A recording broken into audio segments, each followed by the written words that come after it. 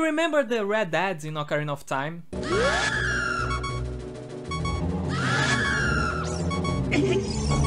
and the crazy piano on Mario 64. And the music in Lavender Town on Pokemon Red and Blue.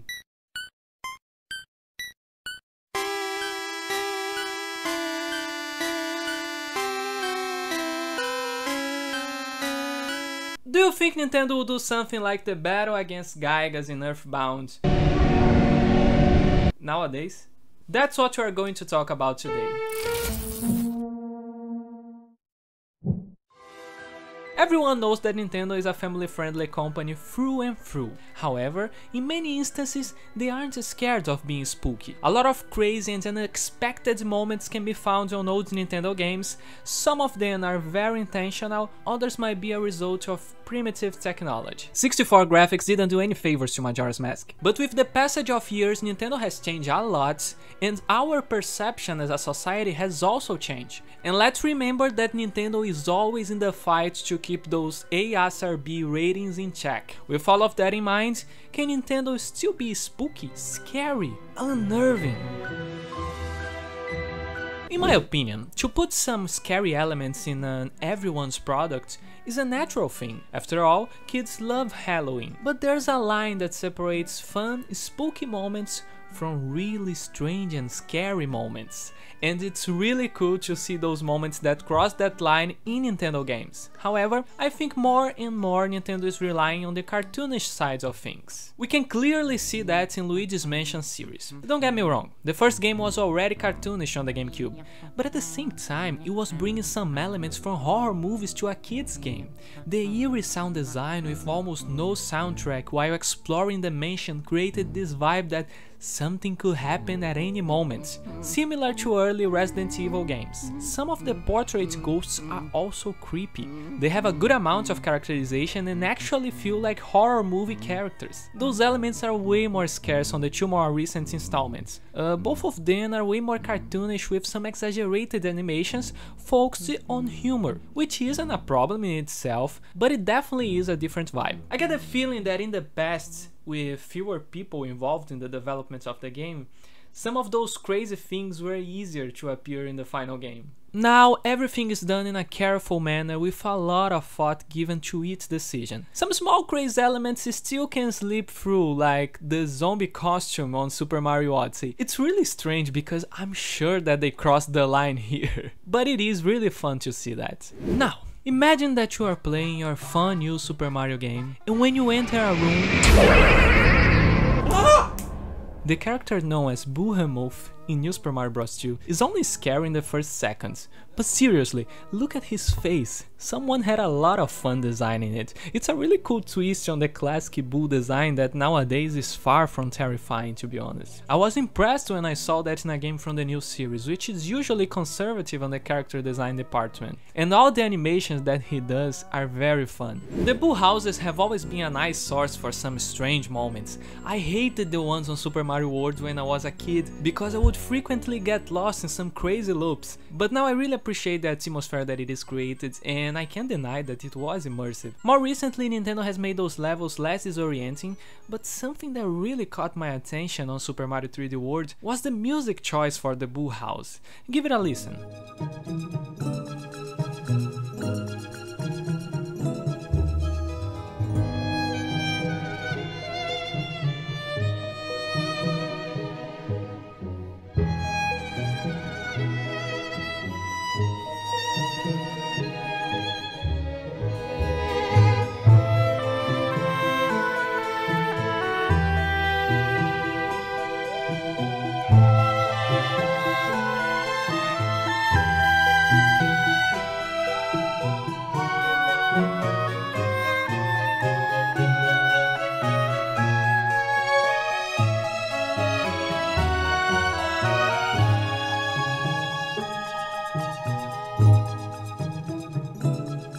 It's one of my favorite pieces of music from the Super Mario 3D World and I really like how overly dramatic it is. Aside from Mario, I know that Kirby also goes unexpectedly hard on some later bosses in each game. I'm not a big Kirby guy, but if you are a fan, please give us some examples in the comments. Now, of course, when Nintendo is developing a more mature series, they seem to be okay with some moments that definitely cross the line. The Metroid series is a good example of a really different Nintendo franchise. Fusion, in particular, was especially scary with the whole SA-X situation.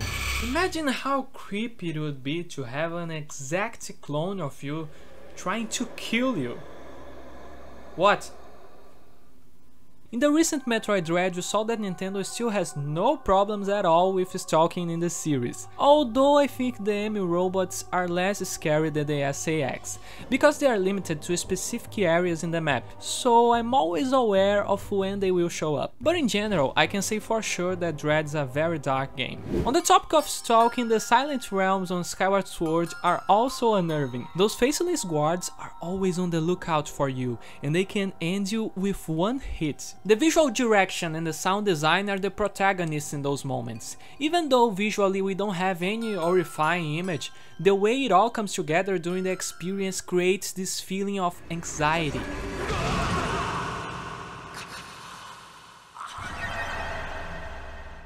Finally, I want to draw attention to a specific moment in the DLC of Xenoblade Chronicles 2. Torna the Golden Country. It's literally one of the final scenes in the game, so skip the video if you never played it. What is that?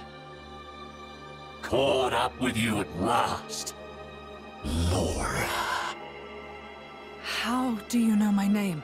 It knows human speech. But it's not a blade.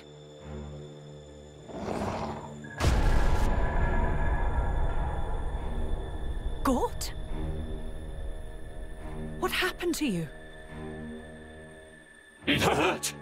Oh, the pain. What?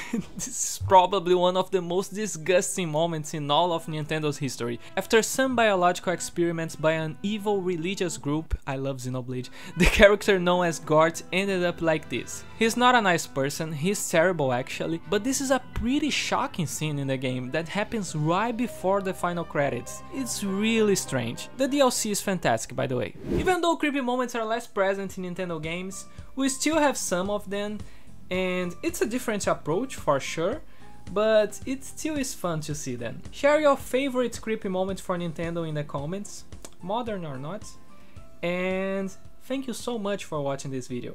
Until next time, bye!